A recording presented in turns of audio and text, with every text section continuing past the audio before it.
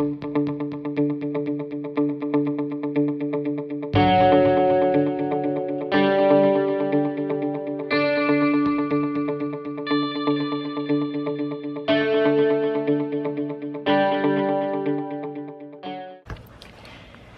it's Tea with TeaQuilts, and I'm here sharing a customer's quilt with you.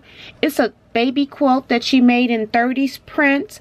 She had marked it for hand quilting, and then time got away from her, and she couldn't get it done by the time of the baby shower. So she asked me to quilt it for her, and I just thought that I would share some of the process with you.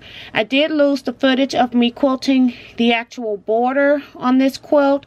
So I'm sorry about that. You won't see that part. But I do have the footage of one of the borders and then also of me quilting one of the blocks. So I thought that I would share it with you.